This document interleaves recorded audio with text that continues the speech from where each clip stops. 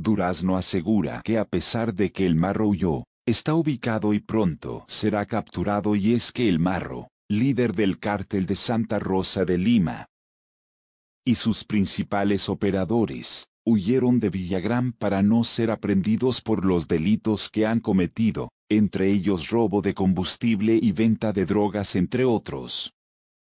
Los líderes del crimen organizado que tenían asiento en la comunidad de Santa Rosa de Lima han huido y están instaladas en pleno las autoridades locales en control total de la población. Es frecuente el desplazamiento geográfico de algunos de estos criminales. Sin embargo, se está siguiendo sus movimientos y creo que se está próximo a tener un éxito total en el operativo. Están perfectamente ubicados, es cosa de avanzar en el operativo para lograr el objetivo. Durazo Montaño reiteró que se trata de un operativo encabezado por el gobierno de Guanajuato en el que las fuerzas federales solo acudieron a apoyar como lo hacen ante cualquier otro llamado de emergencia. Pues recordó que en el gobierno federal no trabajamos por la persecución de objetivos anunció el jefe de Seguridad Pública de CDMX Jesús Horta Martínez que descubrieron que hay policías que trafican el combustible que se les asigna en complicidad con los gasolineros. Fieles a la técnica quirúrgica del machete, en vez del bisturí, las autoridades capitalinas decidieron reducir en 30% el suministro de gasolina a los vehículos de la policía capitalina, en lugar de utilizar prácticas administrativas modernas para controlar el consumo. Si no calcularon bien, así como al gobierno federal lo tomó desprevenido el desabasto de gasolina, al gobierno de CDMX podrían encontrarse en la incómoda posición de que las policías no se acudieran a emergencias, por falta de combustible, la guerra del expresidente Felipe Calderón contra los cárteles del narcotráfico dejó un saldo de unos 121.863 muertos, según cifras del INEGI. Sería desastroso para la imagen de la jefa de gobierno. El tráfico de drogas sigue. Un baño de sangre del que quizá todavía no sepamos con certeza qué pasó. Los capos detenidos fueron suplantados por generaciones que venían detrás, otros grupos se recompusieron, algunos otros se dividieron cambiando de nombres. Quizá por ello, sonó reconfortante escuchar al presidente López Obrador expresar lo siguiente hace unos días. El negocio fluyó. Oficialmente ya no hay guerra, nosotros queremos la paz, Vamos a conseguir la paz. La estrategia de López Obrador de cortar de tajo el negocio del robo de combustible no solo conducirá hacia los responsables dentro de las oficinas de Pemex. Esto, en los hechos, significará también ahogar las finanzas de la delincuencia organizada que, en los últimos años, vive del robo de combustibles. En otras palabras, secarlos, ahogarlos por la falta de dinero. Hace alrededor de cuatro meses en un video difundido en YouTube, un grupo de hombres en su mayoría vestidos de negro, encapuchados, amenazaron al cartel de Jalisco Nueva Generación Sijun, con acabarlos si se atrevían a entrar de nuevo a su territorio. ¡Viva Guanajuato! Gritaron en varias ocasiones mientras disparaban al aire ráfagas con armas automáticas. Ellos se identifican como el cártel de Santa Rosa de Lima encabezado por José Antonio Yepes Ortiz, alias El Marro. La principal actividad de este grupo delictivo ha sido el robo de combustible. Operan en una zona que abarca los municipios guanajuatenses de Irapuato, Salamanca, los Apaseos y Villagrán, en este último se encuentra el poblado que lleva su nombre.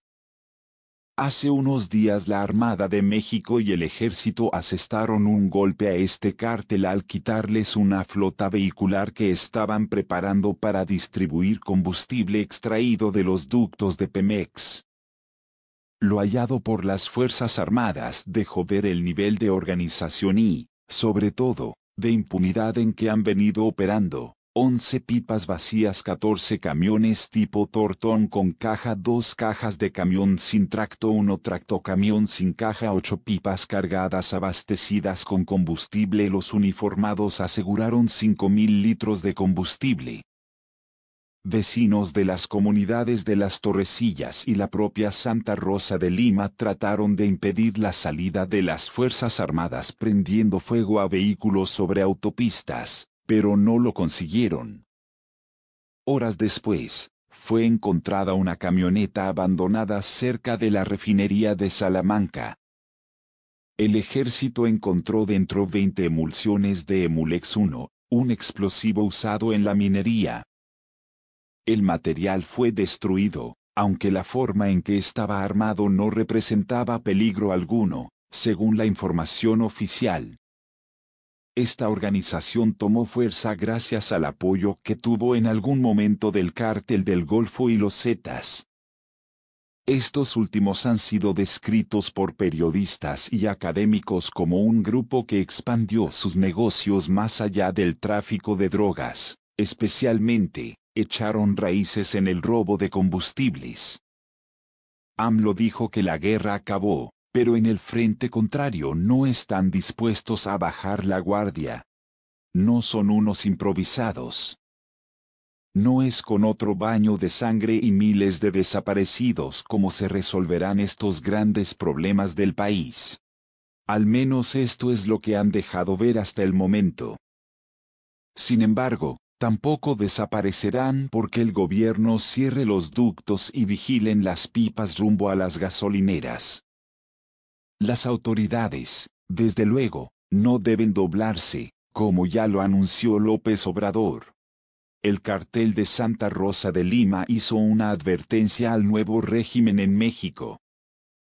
No obstante, quizá van a tener que enfrentarlos usando los equipos de inteligencia de las Fuerzas Armadas. Estos delincuentes presionan, extorsionan, obligan a la gente a servirles. A capos como el marro hay que ponerlos en la cárcel. El secretario de Seguridad y Protección Ciudadana indicó que continúan los operativos para detener a El Marro, presunto líder del cártel Santa Rosa de Lima. En ambos casos vemos por supuesto reacciones del crimen organizado, pero afortunadamente están bajo control, se va acotando la capacidad operativa de estas organizaciones criminales en virtud de estos operativos, de estos ejercicios. Como el congelamiento de cerca de 17 cuentas bancarias, lo que limitó su capacidad de operación, ya que están en un proceso de debilitamiento y esperamos que concluya muy exitosamente. Durazo indicó que a pesar de las reacciones del cártel de Santa Rosa de Lima en contra de estas acciones, como el bloqueo de avenidas e incendio de vehículos, continúan los operativos para detener a José Antonio Yepes Ortiz, alias El Marro, quien es el presunto líder de esta organización.